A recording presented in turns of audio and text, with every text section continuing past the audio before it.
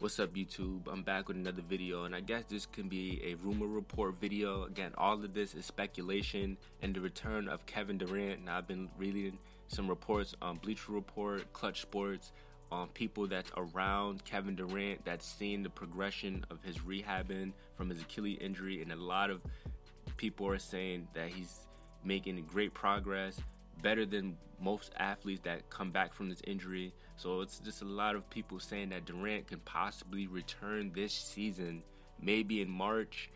Um, but as of right now, um, you know, he's doing his day to day procedures where he's just rehabbing, working to get his muscle strength.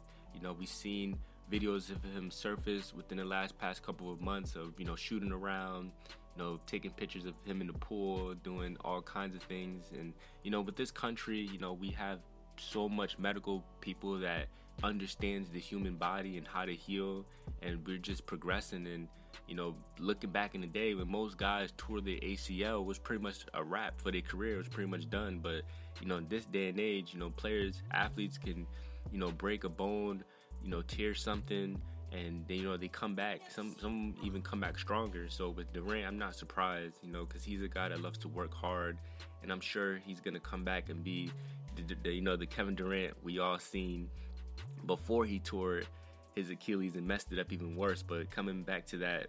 Um, you know that game five, I believe it was. You know he was just playing phenomenal. But you know it's been a lot of reports saying that Kevin Durant can possibly return and you know the rehabbing is going well. You know his coaching staff, everyone is seeing it, but um, you know obviously as a coach and as a GM, I wouldn't want Durant to play this season just because you know I invested into him.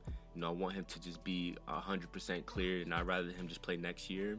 But we're gonna see how time goes. But it's a possibility that maybe him and Kyrie can actually play on the court together and you know, this video is all about possibility. You know, a couple months ago it was he's done for the season, but as time goes by, you know, it's looking more and more possible that he can return. So it's gonna be something to look out for, and it'll be really cool to see him come back and be on the court. But for me personally, you know, if I'll be on the the Nets coaching, uh, the head coach, I forgot his name, but I'll be more on his side of just sitting Durant out not playing and just wait until next season. But just giving you guys speculation. You know, none of this is facts, you know, but just speculation right now. There's been a lot of rumors that Durant can possibly return, and we're going to hear more echoes of this throughout the season. So we're going to see when it gets closer and closer to March and see what will happen. But just to give you guys some content, and I just want to just drop a little video for you guys.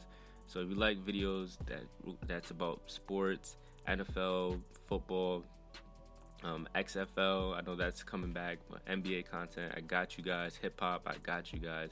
See you guys in my next video. Subscribe, do all that good stuff. Peace.